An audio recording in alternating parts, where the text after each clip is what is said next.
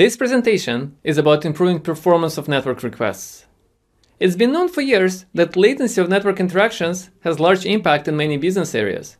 For example, internet retail, with Amazon showing the correlation between latency and online sales revenue, or Google now including performance of page speed in the ranking algorithm, or companies willing to invest hundreds of millions of dollars to reduce latency just by a few milliseconds. And over the last year, all of us directly felt the growing importance of data interactions over the internet on our day-to-day lives. When one thinks of latency in scope of Netflix business, video streaming naturally comes to mind first. And for good reason. Over 10% of all downstream traffic on the internet is Netflix video streaming. To make it performant and efficient, Netflix has built and scaled one of the most well-connected content delivery networks, or CDN, in the world. This network is called OpenConnect and is used today to deliver pretty much all of the Netflix's static content like videos or images. This data is delivered from servers called OpenConnect appliances. They use a combination of hardware components and software optimizations to deliver content with incredible efficiency. These servers are deployed in thousands of locations all around the world, embedded into ISP networks or placed into Internet Exchange locations. The Internet Exchange locations are itself connected together via the private Open Connect backbone network. This network also connects CDN servers to a control plane in the Amazon cloud. This powerful infrastructure has been deployed and optimized for best streaming delivery over 10 years and is one of the core building blocks of smooth Netflix streaming experience. You can find plenty of great talks online describing it in more detail. But network dependencies for Netflix service are not limited to video streaming. Before a user starts the stream, they need to choose a title to watch. And for that, they interact with the content discovery experience within Netflix UI. These experiences also depend on data delivered over the network. However, these interactions are heavily personalized for each user, with data provided by a collection of services running in the Amazon cloud infrastructure. And today, Netflix cloud infrastructure runs on three Amazon regions. In those regions, hundreds of microservices work together to provide this personalized metadata sent to UIs on user devices. And from user measurements, Netflix knows that delays to get this personalized data from cloud endpoints may contribute quite significantly to user perceived delays when they interact with the Netflix UI. For example, calls to AWS services can take up to 40% of user wait time to render the homepage on Android. With that in mind, Netflix engineers were faced with an interesting question. Would it be possible to leverage very distributed CDN edge infrastructure to improve performance of network requests between user devices and cloud infrastructure in the AWS? Standard HTTP caching techniques wouldn't work because personalization makes these interactions practically non-cacheable. And while there are many options that involve large tree architecture, the ideal solution would minimize disruption to device and server teams, so they could focus on delivering product features. And ideally, the system itself would be easy to maintain, no matter how distributed it is. My name is Sergey Fedorov. I'm a director of engineering on the content delivery team at Netflix. And today I'm going to present how Netflix has solved this problem. First, I'm going to explain how to leverage distributed CDN edge infrastructure to accelerate network requests between devices and data centers. Then I'm going to describe in detail Netflix's solution, all the way from the concept to deployment and to operations of the system. And lastly, I'm going to highlight what all of you can learn from our experience to make sure that your network requests can fly through the internet as quickly as possible. Let's begin. First, let's talk about some fundamentals of network acceleration. As a reminder, in our case, we have three regions in the cloud, but we have clients all around the world. And we have way more distributed CDN edge infrastructure across thousands of locations, generally quite a bit closer to, to users. As a reminder, due to personalization, we cannot position the content on the CDN servers. But what if we route the request from the client to the cloud via the closest CDN server, the, the proxy on that server. Can it be faster? In order to explain the answer to that question, let me get back to some of the networking 101. in order for the client to start getting the data from the server, it needs to first establish a TCP and TLS connections. And that time depends on the round trip time or RTT between client and the terminating server. In, that, in the situation when that latency is 100 milliseconds, it will take at least 200 milliseconds to establish a connection and another 100 milliseconds to start passing useful data from the server to the user, to the total of 300 milliseconds.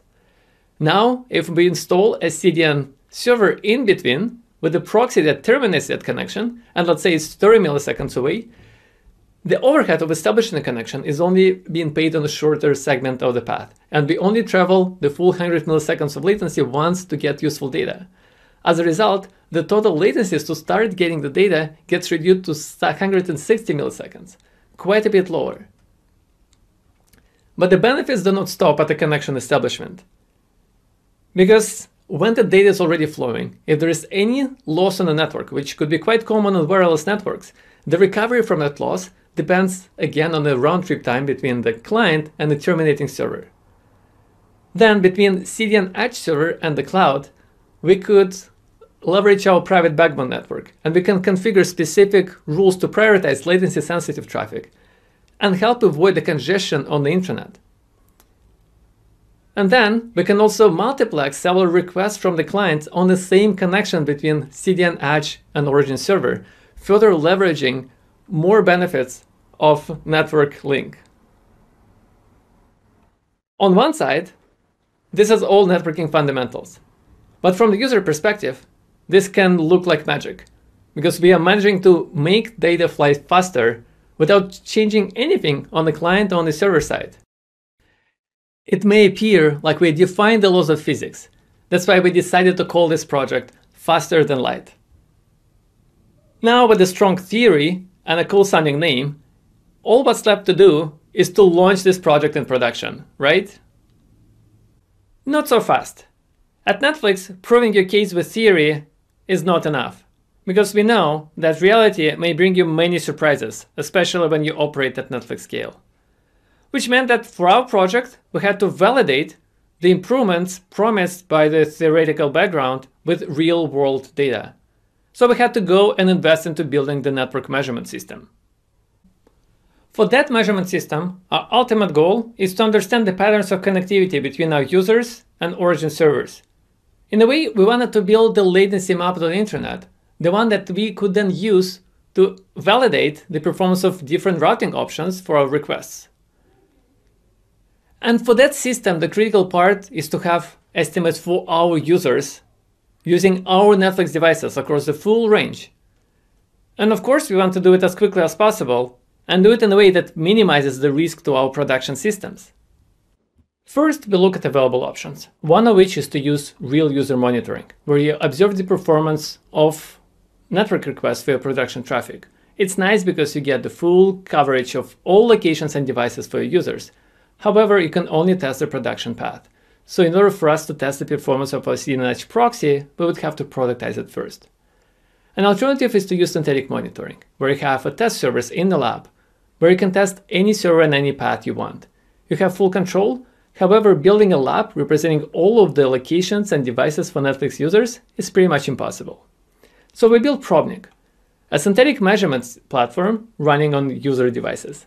It consists of an agent that we call a probe that gets deployed alongside of the Netflix UI and allows us to run the controlled network experiments. The way it works, at some moment, ideally with little network activity in the UI, the probe makes a call to the control plane in the cloud and gets the test configuration that we call a recipe. Recipe specifies a, test, a set of targets that the client needs to download a specific set of information from and measures how long that request takes. And that then reports a result for analysis. There is more information available about Probnik online with the former presentations or at the Netflix GitHub open source page. Now, once we have a measurement system, it's time to build a prototype for a CDN Edge proxy. For the prototype, our guiding principle was simplicity. So we went with a Go-based proxy, choosing Go for the power of its networking library and ability to deploy it as a static binary. So we could just drop it on our CDN server, open the port and start routing traffic. But then we also have to figure out how to connect devices with one of the thousands of edge servers. And if for cloud service selection, we've used GeoDNS to choose one of the AWS regions for each user, Geo wouldn't work so well for our CDN edge. So we went with TCP Anycast, where we configure a single IP address for all of the servers on the CDN and let client be connected to one of them using the network distance. Now for each client, we have two options, going to the cloud directly or being proxied over the CDN Edge proxy. And the question is which path is faster, and that's where using our probing system to measure the performance. For each user, we are asking them to send two requests. Download the same piece of data from the cloud over direct path, or have this, the request go via the CDN Edge proxy, and compare the time. Then we aggregate it over all users and use this visualization to look at the results. On the horizontal scale, we're looking at different uh, regions where users are located. And on the horizontal scale, we're looking at the percentage of acceleration that proxy gives compared to a control experience with uh, clients going to the cloud directly. The intensity of the color shows the number of users achieving the specific percentage of acceleration for the request compared to, to control. Ideally, we'd like to see all the users to the right of the red dotted line, meaning that we have equal or faster experience. However, on this heat map, we see a good number of users to the left of, the, of that line, meaning that for, for them, the proxy actually results in a slower experience. And this is not what we want to have. We don't want to have a compromise. We don't want to make performance worse for some users to make others faster. At this point, we learned that a solution purely based on Edge proxying wouldn't work for our users. We got to this point using quick prototyping, we're quite confident in our data, and most importantly, we didn't risk anything in production. And yet, we were not ready to give up an idea. So we went back to the drawing board, and one thing that we've learned from the first prototype is that many users had much faster performance with our proxy, but not all of them. So what if we could intelligently choose the most optimal path depending on the user, depending on their connectivity? In other way, we'll have to route or steer them intelligently. And we'll have to do that decision without making any API calls to the cloud, because that's where we try to send traffic to. And we still wanted to maintain the easy integration with the client, so no complex logic. When we look at available options, DNS came to mind. DNS converts the hostname used by the device to the IP address the device needs to connect to. So what if we plug into that process and either return an IP address of the AWS server for the direct path or the TCP Anycast IP for their CDN proxied path? One complication with DNS is that authoritative DNS server, the one that does the conversion between hostname and IP address, doesn't have visibility all the way to the client. Instead, it only sees the IP address of the recursive resolver that is configured by the user. Which means that we'll have to make a routing decision for the groups of users sitting behind the same recursive resolver. In order to do that, we'll still use the same testing recipe with our probe, where we have two paths measured between the users and the cloud. One going directly to the cloud, another one using the proxy. Then we'll aggregate the latency measurements and group them by the resolvers. And then for each resolver, we'll have to make a single decision to route all the users for that resolver either over the proxied path or going to the cloud directly. This map is built based on the resolver IP and is then loaded onto authoritative DNS server, which then uses that map to route the future requests by responding with the IP address based on the map decision. So what we've done is we've built this control loop where we are looking at the data collected from the users, latency measurements, that are then being sent to the cloud, going through the data pipeline, where the results are aggregated The resolver, and then the map is loaded onto our DNS infrastructure, which is then made, uh, used to make the decision for production traffic. This is the idea. Of course, we had to measure whether this would work. And that's where we use the probing again. At this time, we're using a different recipe, where we compare our control, users going to the cloud directly, with the users following the decision made by our DNS steering. Then we're comparing the results from all users and looking at the results in the same visualization that we used before. And that's the case where we see the picture that we want to see. All of the users are to the right side of the red dotted line, meaning that we either significantly accelerate the network performance or keep the performance the same as it was. And that's the picture that we want to see, and that's the reason to celebrate. At this point, we found a solution that works. It's based on DNS, doesn't require any complicated changes on the device's server side, and produces faster network experience for majority of our users without a compromise. We've been able to test and evolve the system using quick prototyping and analysis based on data from our users. And as we've been doing that, we didn't have to change anything in production, minimizing negative user impact. To some of you, it may seem like the hard part is done. In reality, things were just getting started, as we had to roll out the system in production. What we had to do is to change routing of millions requests per second carrying data critical for Netflix service, that data is coming from more than 200 million users across thousands types of different devices. This request would be dynamically routed over tens of thousands of CDN edge locations on the way to the cloud infrastructure. While that is being deployed, hundreds of device and server engineers keep evolving the Netflix services with dozens of changes per day. If that's not enough, the faster than light Space Force consists of only three team members who would have to build, deploy, and maintain that system. In order to be successful, we had to focus on a few things. First, we had to dress well. Second, we had to embrace failure as a core component of our architecture. When operating over a distributed edge infrastructure, it's better to expect that something is going to break. So we focused on minimizing the scope of each failure, and when it happened, failing gracefully. In a nutshell, Integration of our request acceleration system was quite simple. Make devices use a different DNS hostname that would follow our intelligent routing decision. But in addition to that, we asked to implement a fallback mechanism where clients would monitor connectivity errors over the accelerated path, and, at the signs of consistent failures, switch to the default path. That system allowed us to move faster, to be more risk tolerant when making changes, while still protecting us if we missed any edge case condition during our synthetic testing. And yes, despite all of our efforts, we did discover a few edge cases that we missed. Of course, we didn't blindly rely on a fallback only. We still followed all of the best deployment practices, making small changes, testing them with a probing system first, then proceeding with an A-B test or canary to catch any edge conditions, and then going with a progressive rollout to catch any potential capacity concerns. Once we rolled out this faster than light acceleration system, our job was still not over. We still had to operate it. And as I mentioned, when you operate on a distributed infrastructure having thousands of points of presence, depending on the global internet network, issues are going to come. We didn't want to spend most of our time troubleshooting these issues, especially the ones that can be avoided automatically.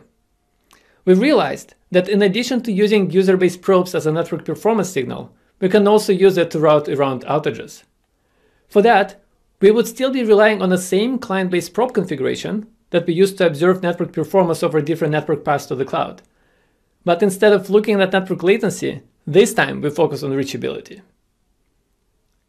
Having visibility into user connectivity over various network paths allows us to detect the type of network failure and then distinguish between cases when only one network path is affected, meaning that it's still possible for a user to reach its destination. Like this example, when ISP loses connectivity to AWS region only. Or another example of a failure of our backbone link. In these cases, the appropriate response is to change the user path, have them follow an alternate route that is still reachable. In other cases, like a failure of a last mile link. There is no routable path for the user, and there is literally not much our team can do to help. As we didn't want to be overwhelmed with individual failures of widely distributed network, we integrated the reachability signal into our request routing. For that, in addition to considering performance of network request, we would also look at errors and automatically reroute users over the path that's still reachable, if there is one. The response of our request steering pipeline is 5 to 15 minutes, which could still be a problem. But that's where our client fallback process comes handy again, failing gracefully and maintaining user connectivity. it may only result in slightly slower experience for a few minutes, while significantly reducing operational overhead for our team. To recap, to travel faster than light, we rely on hundreds of thousands of synthetic measurements performed on user devices. That data is then aggregated in the cloud data pipeline, where we determine the most optimal network path across 200,000 segments at DNS resolver granularity. The output of that model is then used by DNS throughout millions of production requests per second. HTTPS requests on new connections are accelerated by 25% and on existing connections by 10% on median. The system is built, deployed and maintained by a small team of three engineers. It required minimal amount of changes on the device and server side to deploy, and operationally, it's mostly hands-off. Let me guess, some of you may be thinking, Optimizations like that are great for companies like Netflix. But what if I don't have a CDN or a private backbone? What if I don't run my own DNS service? What can I learn from that? And my answer to you is that you can still learn quite a bit. Majority of what I've talked about, the process, the workflow, the mindset, can still easily be applied in your domain, at most with some minor modifications. Even if you don't run your own infrastructure, you have plenty of choices.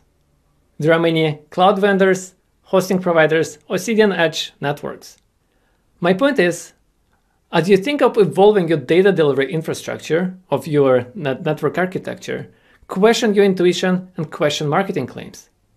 Make your decisions based on data collected from your users and on metrics that are relevant for your application. It doesn't limit you to only network routing. As a matter of fact, the same team of three engineers that was working on DNS-based steering solution, tested and evolved dozens of other network improvements, starting from testing new application protocols like HTTP2 to playing with different transport protocol options, or rebalancing how we send traffic to Amazon regions, or migrating to the D different DNS provider. The key to the team efficiency is a short loop that allows us to measure different ideas with the data collected from devices without touching production. For the DNS steering system that I've described, it took us less than six months to iterate and, on different prototypes and come up with the final solution that we knew is going to work. And, and it took less than six months, including building the measurement system. Then it took us over two years to productize it, because productization takes time and it's also risky. As you productize your ideas, think about failures first. Because when you deal with networks, and especially operate over a distributed edge infrastructure, something is going to break. And you probably don't want to be in the middle of it. For our team, despite managing millions of requests per second of critical Netflix traffic, running dozens of experiments, changing the network configuration, the team receives less than one pager per week. The secret to that is embracing the failure as part of our architecture, having the fallback, failing gracefully. To recap my talk, I encourage you to invest into your network insights workflow. Follow the data-driven process to evolve your data delivery architecture. Have operational mindset. Get ahead of failures by automating response as much as possible. And keep learning every step of the way. I believe that following this workflow would make your network request fly through the internet faster than you could ever imagine, make your day-to-day operations free from fire drills, and your customers delighted with a smooth user experience, free from network delays. I hope that you found the learnings and experiences at Netflix useful. If you want to learn more or share your story, you can always find me on Twitter or LinkedIn. Thank you for listening and happy networking.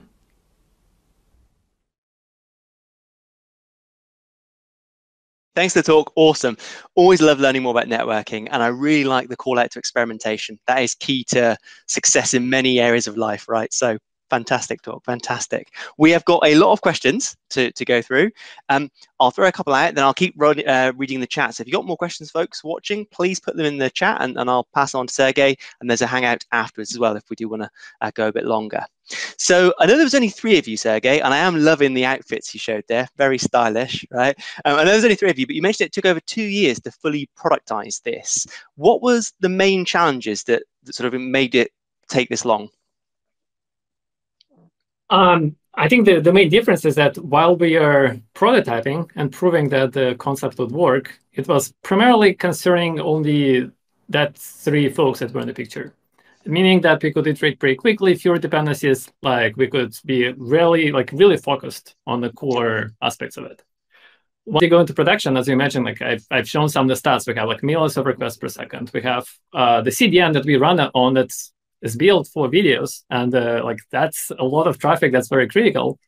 Um, first, in many ways, you have to explain and uh, make sure that all the risks are understood. Like just communication overhead is quite substantial. And in our case, we have at least four different client platforms. So the teams that write write applications for iOS, for Android, for web, for TVs, those are completely different teams. They have completely mm. different code base. Uh, every integration point, even though I mentioned like we, we had relatively lightweight integration, that's already quite a bit of work. And also understanding like what needs to be done. Uh, there's a lot of stuff that can uh, be lost in translation. Um, then as we are actually going and approaching the routing changes, uh, you have to think about stuff like provisioning and capacity. Mm-hmm. Uh, yeah. We are leveraging the backbone, and historically we built that backbone to pre-position the video content on the CDN edge. Uh, I mean, and the the way we do the pre-positioning, I've shared the talk from Mohit and uh, Haley in the past. Uh, oh, we yeah. mostly do it uh, during the off-peak, and it's a relatively small amount of data, even though it's videos, but it's actually not that much in totals because we're pretty effective at placing that. Uh, and here, even though we're accelerating API requests, which are relatively tiny in size, in yeah. aggregate, that's actually a lot of traffic. We have to augment the backbone and uh, when you augment the network, that's actually like every step is like months because you have to yeah. pre-order, you have to install it, yeah. then um, and in, in, before that you have to do the modeling and properly understand which links have to be augmented. Uh, so those are just a few examples. Um, and then uh, there are some of the issues about load balancer and properly uh, identifying all of the certs, like uh, I, I, like all of the ways how traffic gets into the cloud infrastructure. There are a few talks about Zuul, which are our uh, edge gateway. there's quite a lot of nuances there that we have to go through. Um, and I imagine, you know, right now I've optimized the presentation for 25 minutes. Uh, you yeah. need to understand quite a bit more to properly uh, do that. Uh, so lots of communication, lots of understanding, lots of learning. And uh, yes, it does take time. What really mm-hmm. helps us is that we, we, we had that data we've just showed, hey, like this is what we have on the in terms of improvements from real users. And that's what drives attention. And uh, without that, I'm not sure how long it would take because at Netflix we run pretty lean. Um, and uh, teams always have to juggle multiple things they have to work on. Uh, in our case, we had a project and idea that was pretty promising from the data viewpoints, and it it it also helped. Uh, even though two years might sound like a lot, uh, it might not be that uh, long for the scale of it and for the yeah, for, for, for, how many things it, it changed. Agree, Sergey. And the high risk situation there, totally get that as well. Yes, I saw a great question from Alex along the way. Um, uh, do folks do end users opt into this? Are they like beta testers, or do you just use production traffic? Uh, we use production traffic. And uh, obviously, in that case, the, the, the, first thing, I haven't called it out in the presentation, but the first step that sh- everyone should do before they add extra measurements is to make sure that it doesn't harm users. And in that case, the first thing that we've done is that when we had implementation of the prod, we had a very small scale test, and we just tested any quality of experience impact. And that's where we validated that we could, uh, we validated when and how many requests we can send uh, mm-hmm. without impacting any smoothness of the UI or uh, like the impact on the video streaming. And that's, with that, we had a specific limit of how many requests, how many tests we ah, can nice. run at any point of time. Very nice, very nice. Uh, I saw Christian's question pop up, and I saw you say we'll come to this in the Q and A because it's a great question. So Christian asks, uh, I did the same analysis in the past in terms of performance. Uh, nevertheless, in some countries, sometimes the IPs are being reused across multiple regions in the same country, which actually can impact the proxy non-proxy approach. How did you solve this problem? Um, generally there are two things that are core to our solution. First, that's where that's the part where TCP Anycast actually excels because you are giving the user a single IP address. And uh, even though it appears like a single location, multiple users behind the same resolver can actually go to different servers based on the local connectivity. Uh, so that's one nice part of Anycast. Uh, the second part is that we are not limiting to our proxy solution. And uh, some of the negative aspects that we've showed when we are uh, seeing the degradation of experience might have come from those proxy solutions. Uh, there are multiple reasons like why uh, like it wasn't always faster, but one of them could be that. At our scale, we physically don't have an ability to investigate every single case. We, it just wouldn't scale. we may yep. look at some of the patterns. but in that case, our solution was purely data-driven. We look at the latency. We are looking at the finer grain building block that we could use. And uh, we measure if it if it works, if it gets to the acceleration, we go in with that. Uh, but in general, if for some reason the proxy really messes up with a proxy solution, we just would steer those users directly to uh, to the cloud without leveraging CDN Edge. Nice, very nice. Uh, another question from Michael. Uh, can you elaborate on what your DNS mapping looks like, how you compute it, and how is it loaded? Yeah. Uh, so I think in a nutshell, the DNS map is uh, a map between the resolver IP, so just a simple IP address uh, that authority DNS resolver sees, to the path. And uh, it's basically for each resolver, and I've uh, shared the number, we see about 200,000 or so uh, recursive resolvers that hit our infrastructure. Yeah. we map, like we map them to their decision, like to the IP address that we need to give and it's either TCP Anycast address or it's uh, like a CNAME or like IP address of the AWS server. Uh, that's that's a, that's what we load onto the auth DNS. There's just kind of this key value pair, IP address, uh, destination. Uh, it's been computed. Uh, basically, we run the loop, so those latency measurements are on the devices continuously all the time. Oh, They're feeding all of these measurements from all over, all over the world into the cloud. And then we have the data pipeline that's in real time, aggregates all of that uh, data into the resolver, makes a decision for which resolver, which path we should take. And then it goes and loads in, into our CDN. Uh, it's not instant, obviously. Uh, currently, we've uh, reduced the latency of this whole loop to about like five ten minutes. Um, like we have a few ideas how we could make it faster, but in generally we are also trying to make data-driven decision. We are trying to see how many situations we are not capturing that, and uh, what because the lower latency you do, the more complicated and fragile the system becomes, and that's where it's beautiful that we have this fallback on the client side. That if for some reason if something like happened within those five ten minutes before we had a chance to update the routing, clients would gracefully uh, gracefully nice. fall back. Very nice, very nice indeed. You've answered one of my other questions there, which is great, super. Uh, Julian asks, an interesting one. This may be a separate talk actually, but could you identify if users are using a wireless network like LTE or 5G? Uh, is there any way to improve user experience if the bottleneck is a wireless network? Uh, I think there are probably two questions here. Uh, a, if we are purely talking about wireless network, then generally we can identify that. And uh, quite often they would use different uh, recur like recursive resolver infrastructure, so we can sort of automatically uh, detect, determine that. And, but in our case, we don't have a special treatment because it's purely latency based. Uh, and uh, our edge proxying is more likely to help for wireless networks. So it's more likely to prefer edge path if it's actually ah. faster. Uh, but I think the second answer, that the second part of that question is the in-home wireless setup. So the, the link between the device and the router, uh, mm. like uh, contention on the Wi-Fi and stuff like that. Uh, or like mic- microwave situation when someone turns on the microwave oh, and nice. we have an instantaneous bleep. Uh, so in our approach, we intentionally don't look for those situations because they those instant instantaneous uh, like in-home situations uh, that yeah. are very unique for the time and the users they would not benefit from our solution yeah. what we are looking for with our approach is the long-term connectivity patterns on the internet um, and uh, if we need to address to any instantaneous things uh, likely we have to go with the client-based solutions right now we are playing with uh, with some of the ideas how to we can do a little bit smarter things on the client side uh, to choose different paths. But generally, this is it, this, this, doesn't scale as nicely as our solution because then each client, like mm. each platform, would have to do its own thing. It's that constant trade-off, right, between client and server. Yeah. I've seen many talks over the years with Netflix talk about that, which is yeah. which is fantastic. Uh, Byron asks, changing tack a little bit, uh, do you see in production uh, that clients using HTTP 2 have clear advantages over HTTP 1.1 in terms of latency? Uh, well, that's one thing. That's one of the other things that we've tested. Uh, it's sort of orthogonal to the routing question uh, because mm-hmm. with HTTP2 we're changing the protocol, we are not changing the route. Uh, but that's yes. where we, we use the Probnik and our client side measurements for.